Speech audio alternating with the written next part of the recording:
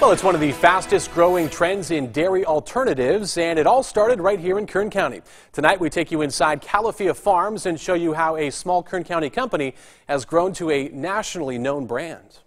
We know almonds have been popular here in Kern County for so many years, but within the last few years, almond milk has been taking off. You've probably seen it in your local grocery store, and there's one Kern County business that's been making that popular almond milk for five years now. We're going to meet Josh Budd. He's been the VP of manufacturing here for several years. Josh, Tim, thanks nice for having us you. here today. Hey, talk welcome. a little bit about uh, Califia Farms and just the uh, expansion you guys have gone through and, and the products you offer. It really is incredible. Absolutely. So we've been in Kern County since 2011. Uh, we make really delicious almond milks, coffees, and juices bottled right here in this facility.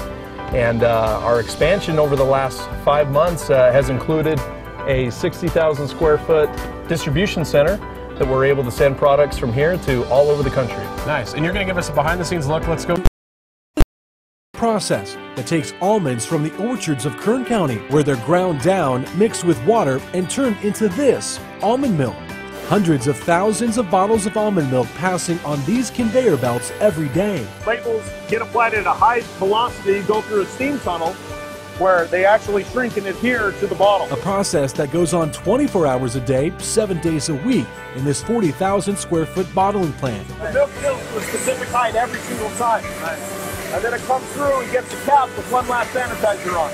Having all of this enclosed the way it is allows us to automate it but also to make sure that everything is perfectly clean before we put our product into it. A commitment to food safety that has earned Califia Farms numerous accolades in the industry, and one that has allowed their operation to grow. You'll see them in Costco, Walmart, Target, Whole Foods. Now, Califia's products are in more than 27,000 storefronts across the nation.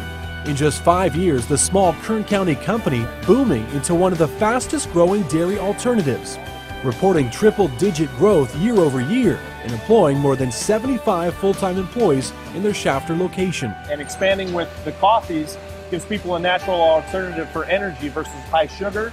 They can get natural energy from coffee. And it's not just almond milk anymore. Califia has launched a new line of cold brew coffees, along with cutie tangerine juice. This didn't exist four months ago. And that growth and success on display here. 24 new jobs were created when we commissioned this distribution center. Where just five months ago, Califia opened a nearly 60,000 square foot state of the art distribution facility. And uh, we run about in the neighborhood of 15 to 20 trucks a day out of here 24 7. Pallets and pallets of products stored here.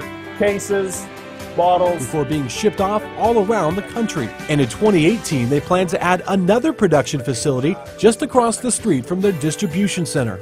We put the distribution center uh, a couple hundred yards away from the manufacturing facility so that we could use that space wow. to expand our production. A testament to the product that has exploded in popularity in just the last five years. You can expect to find us pretty much any state. And uh, this summer we're going to be launching e-commerce and .com. So you can, if you don't have us in your local town, you can go online and, and get any of the products that we offer. And it all started right here in Kern County. Califia Farms, made in Kern County. Woo!